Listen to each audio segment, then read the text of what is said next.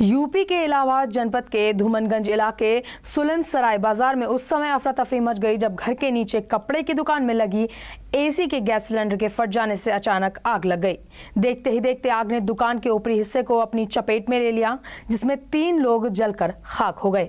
इलाहाबाद के धूमनगंज इलाके के सुलम सराय बाज़ार के एक मकान में भीषण आग लगने से एक ही परिवार की तीन महिलाओं की जलकर मौत हो गई। बताया जा रहा है कि सुलम सराय बाज़ार में उमेश वस्त्रालय की दुकान में लगी एसी का गैस सिलेंडर के फटने के बाद दुकान में आग लग गई। जब तक लोग कुछ समझ पाते, आग ने इतना भयावह रूप ले लिया कि तीन महिलाएँ आग की चपेट में आ गई। घंटों मशक्कत करने के बाद आग पर काबू पाया गया, लेकिन तब तक तीनों महिलाएँ दम तोड़ चुकी थी। पुलिस ने सभी लाशों को सीढ़ियों के ज़रिए मकान से उतारकर पोस्टमार्टम के लिए भेजकर मामले की जाँच शुरू कर दी है। फ़ोन नहीं उठ रहा था। जब फ़ोन उठा तो बोलते हाँ क्या हुआ?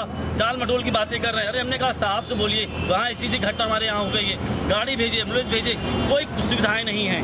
और ये इतना बड़ा क्षेत्र, इलाका है अपना शहर पश्चिमी का, इसमें किसी प्रकार की ऐसी अपनी घटना पे कोई भी व्यवस्था नाम की चीज़ नहीं है। और जब आए मुझे कहा गया तो कहते, हम लोग आ तो गए ना। अरे आगे तो हम आपकी आरती उतार लें। हाँ? अब यही जो बड़े अधिकारी बैठे इनके घर में मृत्यु हो तो उनको एहसास होता है कि हमारे घर की मृत्यु हुई है। जनता जनार्दन जब मरती है तो उसको नहीं एहसास होता कि हमारे कोई जनता मर गई है। ये हमारी बड़ी माँ है भाभी है और बेटी है। प्रशासन की गलती मान है? प्रशासन की सरासर गलती है। प्रशासन लापरवाह है। लापरवाही जो ब्रिगेड फायर ब्रिगेड। विभाग की है उसके कारण अपनी माँ को खोया है अपनी बड़ी माँ को खोया है अपनी भाभी को खोया है अपनी बेटी को खोया है। इसको कभी भी माफ़ नहीं किया जाएगा। इलाहाबाद से एलएन सिंह की रिपोर्ट। फ़िलहाल खबरों में इतना ही। देश दुनिया की तमाम बड़ी खबरों के लिए आप बने रहिए नेशन वन के साथ। नमस्कार।